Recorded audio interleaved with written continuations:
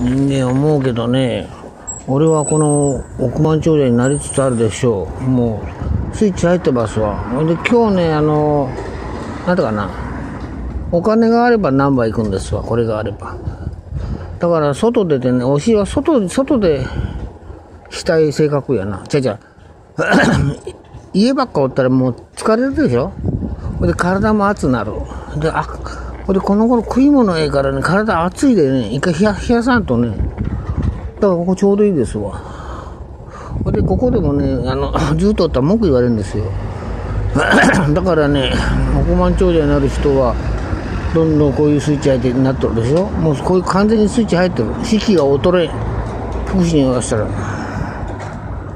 だから何を言いたいかというとうん結局ねなんつうかな金がなかったらあの例えばタバコ平に何杯行くでしょ？